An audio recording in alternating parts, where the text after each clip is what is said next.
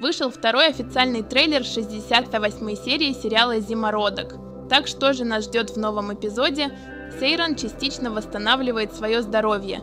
Не забудьте поставить лайк под видео, если хотите, чтобы сценаристы сериала показали нам счастливую и веселую Сейфер, как в первом сезоне.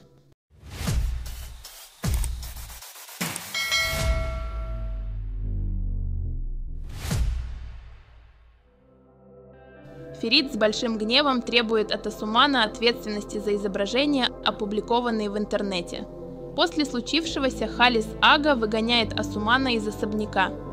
Из этого трейлера мы узнали, что мать Акына Мизида жива. Похоже, что Таяр и Мизиде продолжат доставлять большие неприятности семье Корхан в следующих сериях. С другой стороны, фотографии, которую получает Ферид, все в особняке узнают, что Мизида не умер. Как вы думаете, что ждет семью Корхан в следующих сериях? Пожалуйста, выразите свои мысли в комментариях. Суна встречается с позвонившей ему гадалкой и слышит шокирующие заявления гадалки. Именно Ифакат заставляет гадалку делать эти вещи. Ифакат снова возвращается в особняк, но пока нет четкой информации о том, почему он вернулся в особняк. Как вы думаете, почему Ифакат снова пришел в особняк? Пожалуйста, выразите свои мысли в комментариях.